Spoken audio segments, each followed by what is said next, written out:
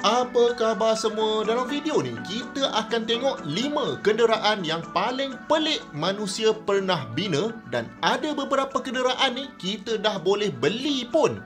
Okey, jom kita tengok. Di tempat kelima, kenderaan paling pelik ni adalah satu alat yang dipanggil walk car. Nak cakap benda ni kenderaan pun tak tahulah boleh ke tidak. Tapi pembuat walk car ni cakap memang benda ni dikira sebagai sebuah kereta. Benda ni konsep dia simple saja, macam ada satu papan lepas tu letak roda. Dia macam skateboard yang pendek dan lebar. Manufacturer dia pula claim yang walk car ni adalah kereta yang boleh disimpan di dalam beg. Ha, macam-macam hal.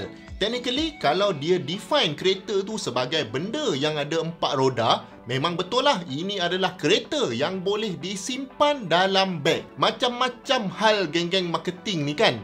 Jadi dalam walk car ni ada bateri dan ada sensor yang boleh detect ke mana kita nak pergi. Lebih kurang macam Segway lah. Top speed pula dalam 16 km sejam dan range walk car ni kalau selaju ni adalah 5 km.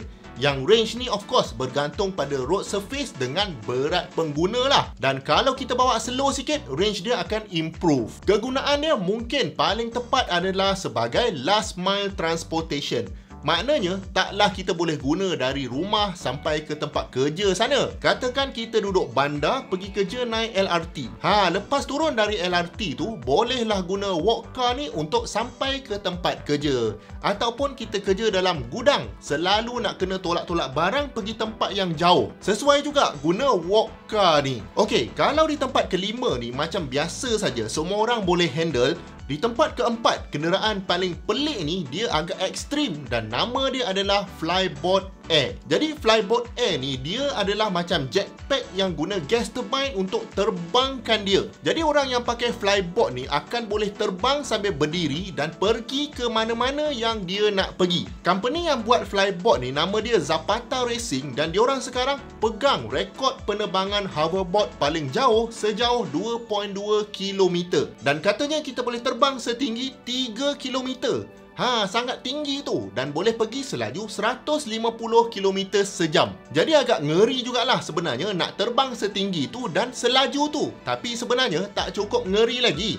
Yang paling ngeri pasal flyboard ni adalah flight time dia tu 10 minit saja. Sebabnya of course tak cukup minyak nak terbang jauh-jauh.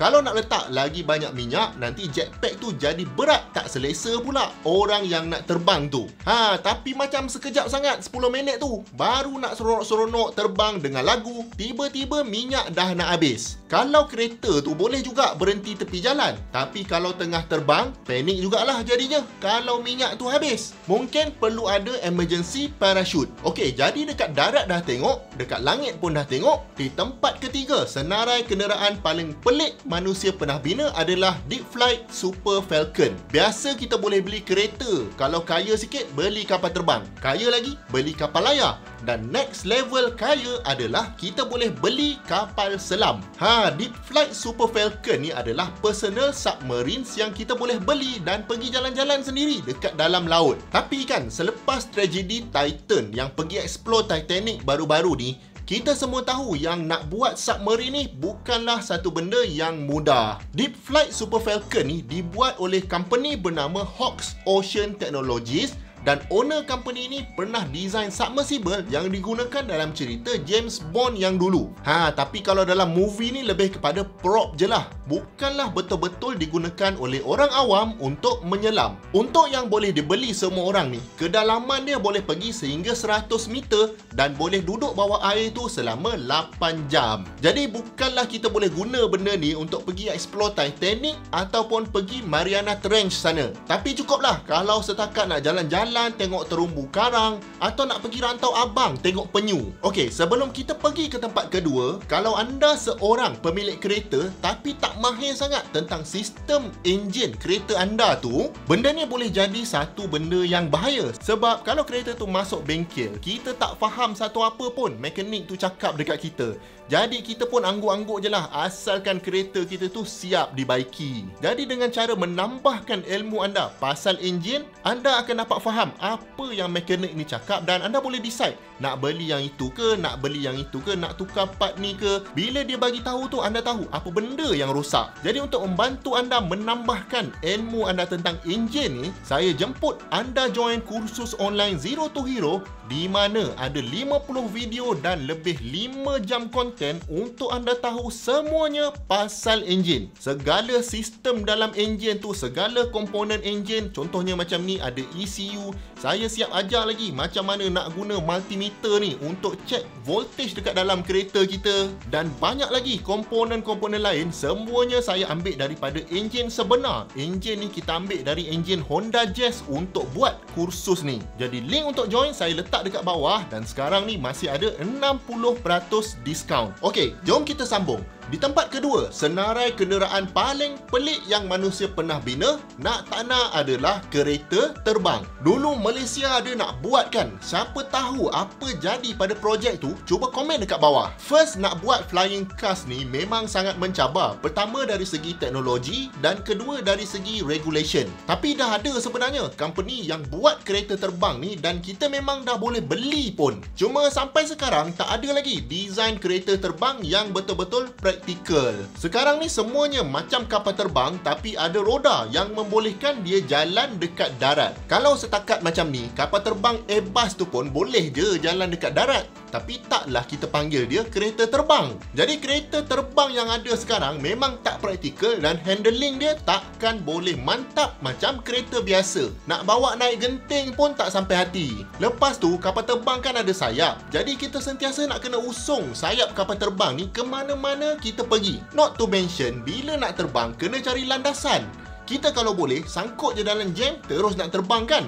Barulah best macam tu. Ha, ini namanya too good to be true. Sebab daya yang diperlukan untuk angkat kereta kita secara vertikal tu sangat tinggi. Dan kita simply tak ada power source yang secompact ni untuk terbang. Kalau ada macam drone tu pun, still nak kena ada blade untuk provide lift tu buatnya blade ni langgar pokok, ha lagi jam lah jalan tu nanti. Baik, di tempat pertama dalam senarai kenderaan paling pelik ni adalah Volkswagen Hovercar. Sekali tengok Hovercar ni macam magic lah. Dia boleh terapung.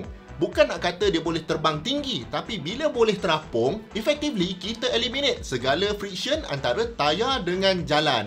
Jadi dekat sini bolehlah jimat minyak atau kalau guna bateri bolehlah jimat bateri. Konsep dia pula agak simple, kita tanam elektromagnet dekat dalam jalan.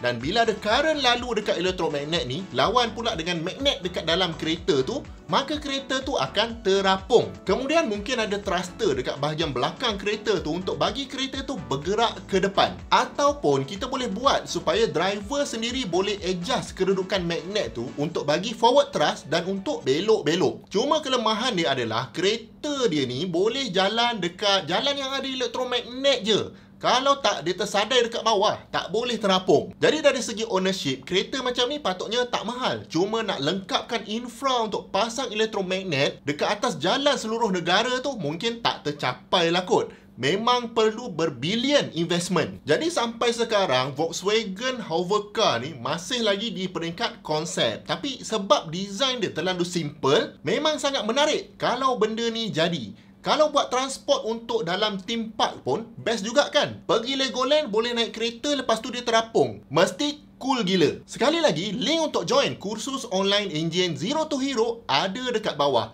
Saya jemput anda join cepat-cepat sebelum diskaun 60% ni tamat. Jumpa lagi di video yang akan datang. Assalamualaikum.